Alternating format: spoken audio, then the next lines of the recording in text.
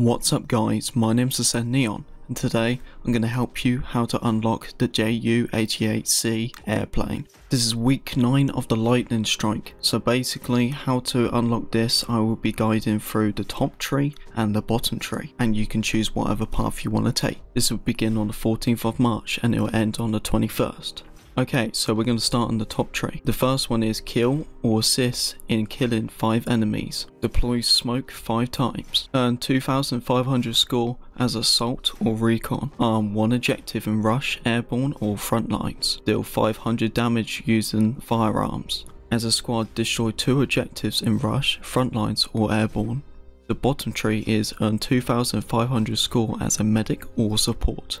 As a squad, request 5 vehicles or artillery reinforcements.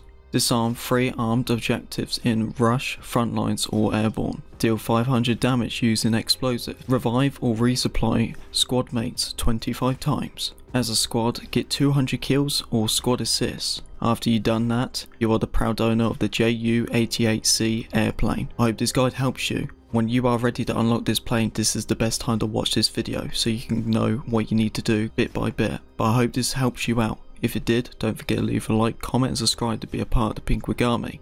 And I'll see you next video. Peace.